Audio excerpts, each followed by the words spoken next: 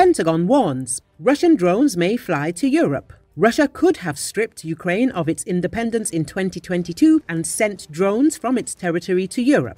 Assistance to Kiev from the United States thwarted this, according to Celeste Wallander, Deputy Secretary of Defense for International Security Affairs.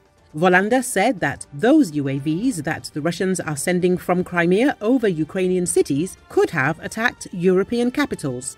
The cruise missiles that the Russians use against Ukraine's critically important energy infrastructure would have threatened US allies in NATO. According to her, Americans in Europe, from military personnel, businessmen, and ordinary citizens to American students studying in Europe, would have been in danger. All of this was prevented by American support for Ukraine and, above all, the courage and skills of the Ukrainians, Wallander emphasized. And the threat to Europe is still relevant in light of delays in the US Congress vote on aid to Ukraine, Wallander said.